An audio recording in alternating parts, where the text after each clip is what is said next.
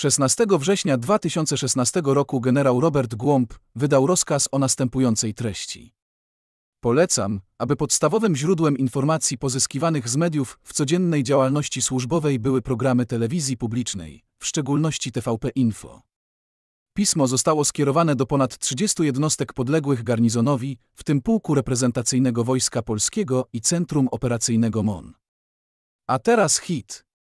Wyobraź sobie, że generał, nomen omen Głąb, 1 sierpnia 2021 roku z polecenia PiS ministra Mariusza Błaszczaka objął stanowisko zastępcy szefa sztabu do spraw zarządzania zasobami w sojuszniczym dowództwie NATO w Norfolk. Co prawda jeden głąb w NATO jakiegoś strasznego spustoszenia nie powinien uczynić, ale głąb to głąb i pewności nie mam.